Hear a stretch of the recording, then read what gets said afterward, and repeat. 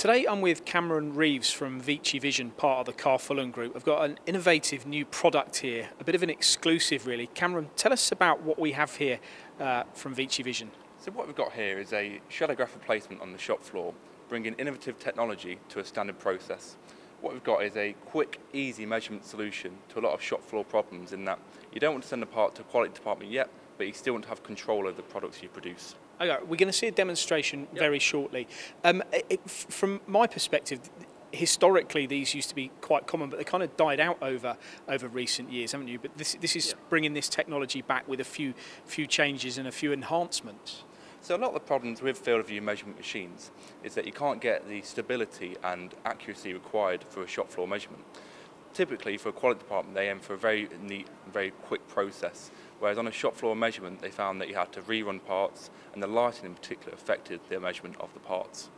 Okay, let's do a demonstration with the part that you've got on here. So if you talk us through, uh, yeah, how, how you would operate this. Okay, so as an operator, you typically jump onto the machine, and so you put your part on the machine as we've got it here, select the lighting you want so you'd see, right, I can see my part, I'm happy the way it looks. So we can tick that. So what we do next is, it operates a very similar way to any kind of touch screen technology. We can just draw along the edge here with our gestures and produce measurements. So we take an intersection at that corner and do exactly the same this side. Take two intersections and now we're going to select these two nodes to produce a distance. So that's a, a, very quick example of what the machine can do. It's meant to be really quick, easy shop floor measurements with accuracy on the parts. You, that's what I'm going to ask you. How, how, accurate is the data that's coming out of that then, that, uh, that size? So typically on a shop floor environment, this will have an accuracy of five microns on a standard stage, which is something that other competitors really struggle to get and accurate in a shop floor environment. What, what do you do once we've got this information then? Is there a way of exporting it to get it into a metrology department? Yes, exactly. So half the problem that the companies have is traceability of the parts. So what we can produce down here is a quick PDF report of the parts. So it gives you a part summary, image of the part, and a summary of all the dimensions you've taken. Where, where do you see this going? Where, where, who, who's going to buy one of these, Cameron? So what I see is any kind of production environment where you have typically a series of lathe CNC turning machines with make, make, make flat pressings, any kind of those kind of 2D parts. Typically, it'd be a, a company which thinks and they need to have another step into their quality process and really want to show up and have more control over their parts. Uh, but, but, previously, a, a, big issue you mentioned it was light with shadow graphs and stuff like that. How, how, do you overcome that with this technology to ensure you get the perfect result? So uh, half problem was with lighting. So you see down here, our cover can actually uh, drop down onto the part, block out any kind of ambient lighting.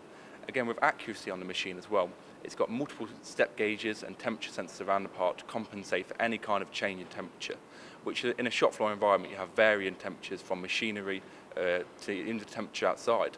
And that's something, any kind of change in temperature can really affect the measurement on the part. I was going to mention that one about temperature control, so you've got all that as well. Yeah. Okay, what about if this here um, quite clearly isn't big enough for the part that I'm looking to measure. Do the machines get bigger or do you just have a method of, of, of you know, measuring longer parts? So it's possible to have a larger uh, moving sliding stage to, uh, to fit your bigger parts on. So typically they'd be measured in batches, small batches or a few parts at a time. As you can see, we've measured one part, but it's possible to load another part onto there as well. Incredible. And this is brand new to the UK market, isn't it? Available from Vici Vision. Can um, engineers come here and, and, bring them their parts just to test it, or is there any way of taking one of these onto site? I don't know. How, do, how does it work? Absolutely. So uh, companies are welcome to come and bring all their parts, we can have, have a look at the machine, or the machine can be brought to them.